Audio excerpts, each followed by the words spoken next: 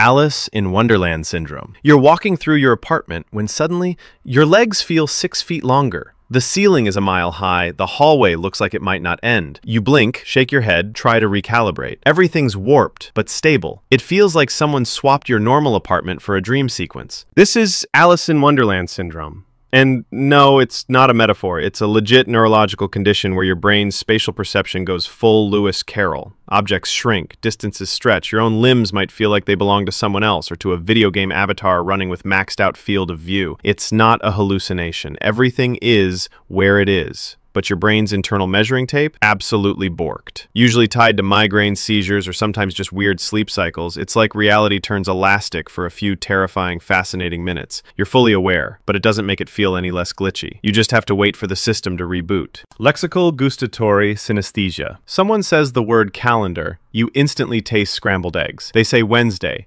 Boom coconut. Your brain's playing a flavor-based word game, and you're not in control. This isn't some quirky association game. This is lexical gustatory synesthesia, where your brain crosswires language with flavor. You don't imagine the taste, you actually experience it. The words trigger involuntary taste sensations. For some people, names are spicy, numbers are sour, abstract nouns taste like burnt toast. The condition is ultra rare but very real. It can be delightful, distracting, or just completely chaotic. And while it might sound like a novelty, imagine trying to have a serious meeting eating while randomly tasting anchovies, paperclips, or mango yogurt every time someone talks. It's not flavor you can escape, it's baked into your vocabulary. Visual snow. You wake up, open your eyes, and everything looks fuzzy. Not blurry, not out of focus, just covered in static. Like the world has a layer of television snow on it. No matter where you look, the grainy film follows. Welcome to visual snow syndrome, where your brain overlays a constant layer of visual noise over your perception of reality. Like your retina is broadcasting on the wrong channel channel. It's not painful, it's just disorienting. It doesn't go away when you blink, or when you look at a wall, or when you close your eyes. It's there, all the time, like the universe forgot to anti-alias itself. Researchers still don't fully understand what causes it, but it's thought to be a neurological sensory processing issue. Your brain trying to show you the world, but turning the contrast up to 11. You're awake, but you're watching a constant static overlay. Add in bright lights, headaches, and visual distractions, and you've got a 24-7 visual filter no one asked for. It's like your brain put reality in lo-fi mode, and then lost the remote. Foreign accent syndrome. You wake up, say good morning, and the voice that comes out isn't yours. It has an accent. Maybe British, maybe French, maybe indecipherable. The weirdest part? You can't turn it off. This is foreign accent syndrome, one of the rarest and most bizarre brain glitches ever recorded. Usually following a brain injury or stroke, the language centers in your brain reboot with the dials twisted. Your mouth moves the same, but your rhythm, tone, and pronunciation get completely remapped. It's not faked, not imagined, and not controllable. It can be permanent. Imagine Imagine the identity crisis of speaking in a voice that feels not you, like someone else has taken over your vocal cords. And no, Duolingo had nothing to do with it. It's your voice, just recompiled in a new dialect patch. Some people adapt. Others feel like they lost part of their identity to a glitch they can't reverse. Over time, the accent might shift again, or never go away. You're not performing, you're debugging. Tetris effect. You spent the day playing Tetris, or Candy Crush, or organizing books, or driving cross country. Then you close your eyes to sleep, and it's still happening. The blocks keep falling, the road keeps stretching, the matching tiles keep swapping themselves. Even your dreams are in level design mode. This is the Tetris effect, when your brain gets so looped into a repetitive task that it continues simulating it long after you've stopped. It's like your brain goes, cool pattern, let's rehearse it forever. It's most noticeable after long, sustained sessions of a visual or physical task, games, routines, even manual labor. Your mind just keeps playing without you. The effect is harmless but disorienting, like muscle memory, but visual. Sometimes it helps you master a task. Other times it just invades your sleep like a screensaver you can't disable. Your brain, always optimizing, starts doing the task better in your head than you ever did in real life. It doesn't want to stop, and you can't convince it to.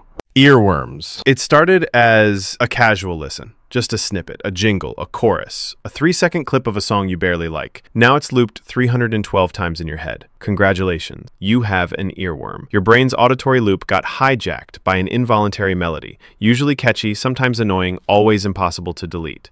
The worst part? Trying not to think about it only makes it worse. It's like mental quicksand. The more you struggle, the deeper it burrows. Some researchers think it's your brain attempting to resolve unfinished patterns. Others say it's just poor impulse control. Either way, enjoy the soundtrack. It might last hours or days. Some people report loops that return months later like cursed MP3s stored in their soul. Music you didn't ask for but can't skip. And the more you try to override it with another song, the more your brain becomes a cursed shuffle loop. Mandela effect. You remember it clearly. The Monopoly man had a monocle. Darth Vader said, Luke, I am your father. It was definitely Berenstein Bears. Except none of that is true. That's the Mandela effect. A shared false memory experienced by groups of people. It's not just you. Entire communities vividly remember things that never happened. It's named after people misremembering the date of Nelson Mandela's death. But now it's a whole genre of reality slippage. Your memory isn't a hard drive. It's a messy, editable Google Doc that everyone can type in at once. And sometimes the edits go viral. Maybe your brain conflated details.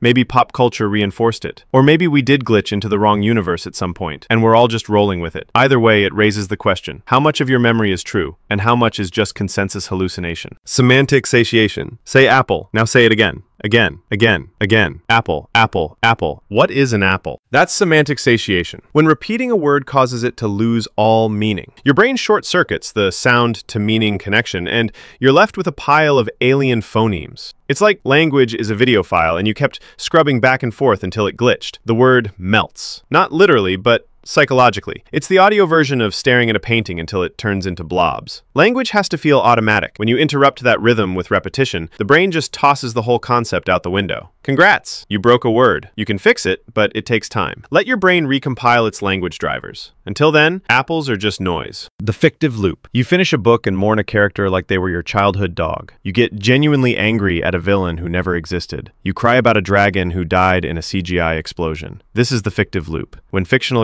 experiences trigger real, lasting emotions. Your brain doesn't care whether it was a movie, a novel, or a fever dream. If it felt real, it gets logged like it was real. Neurologically, emotions don't distinguish between fact and fiction. You're literally grieving someone who never lived. And that heartbreak? 100% real. Stories are simulations for emotion. They train us for situations we may never experience. And that includes pain, loss, and growth over things that were made up. Fiction hits like fact because your brain doesn't see the border. And the more immersive the story, the stronger the imprint. You walk away changed, not by what happened, but by what your brain believed happened. Derealization. The room looks normal, the lights are on, the colors are real, but somehow everything feels fake, like a movie set, like a simulation, like you're watching your own life from behind a glass wall. This is derealization, a dissociative glitch where your emotional connection to the world temporarily vanishes. People feel robotic, voices sound far away, time stretches and warps. Nothing feels wrong, but nothing feels real. It's usually triggered by stress, panic attacks, or trauma, and while it can feel existentially terrifying, it's not dangerous, just disorienting, like reality is buffering. It passes, but in the moment, you feel disconnected from everything. You know you're alive, but you don't feel like you're in it, like you're just watching through someone else's eyes. And no matter how hard you try, you can't emotionally plug back in. It's like being homesick for your own existence. If you found this video helpful or engaging, a like and subscribe is appreciated. Also comment if you want a part two.